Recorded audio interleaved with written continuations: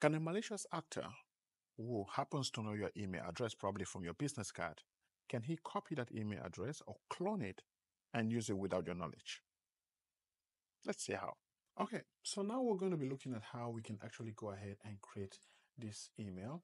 And on, on this side of our mail, we do have our email here that we're going to be using. So I'm going to copy this email. And this is where we're going to be receiving the email um, from the from the uh, uh, malicious intent. And we're going here is where we're going to be seeing if we have actually received an email or not. So let's go right now to the attacker. And what the attacker usually will do is they're going to now try to um, enter the wrong order, to enter the fake information. We're going to say, I'm sending, my name is Zoe Bruno, and I'm sending that's Zoe Bruno at CEO.com, at Zoix.com. And um, they're sending to, and we're going to be entering this email address that is we just copied, and the subject is going to be um, hello. Hello is this um, payment required. Okay?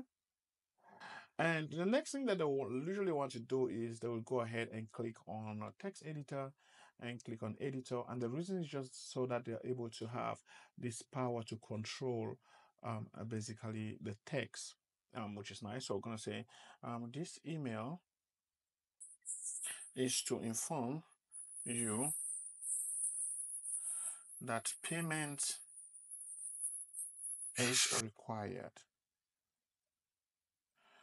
Please make such payments to by, by Zelle, for example, to one, two, three, four, five, six, seven, eight, nine, zero, for example.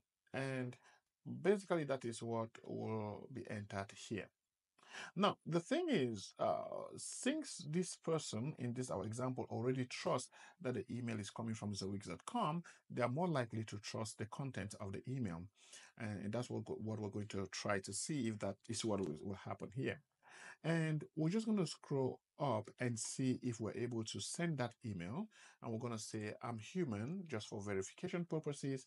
And please click on the object that differs from the rest. And so you can see that is the apple and we're going to click on next you can see here that again is the apple and we're going to click on next for verification now once that verification has been done we're going to go ahead and say send and once that sending has happened you're going to see it says here the email sent was sent successfully now let's go to our temp mail and see if we've successfully cloned and tricked this person in believing that this email is coming from Zoix actually. So you can see right there.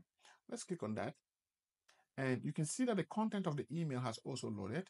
Uh, the subject says uh, payment required. And it says this email is to inform you that the payment is required. Please make such payment by Zelle to this number. And you can confirm that it's coming from Zoe Bruno. And this is actually Zoe Bruno's uh, real email, CEO at zoic.com. So the answer to the question is yes. Um, someone with a, mal a malicious actor with the right amount of information, it's able to send email out using your real email without your knowledge. So stay tuned to the next one. Ask your questions in the comment section and I'll be ready to answer. Thank you and have a great day. Bye bye.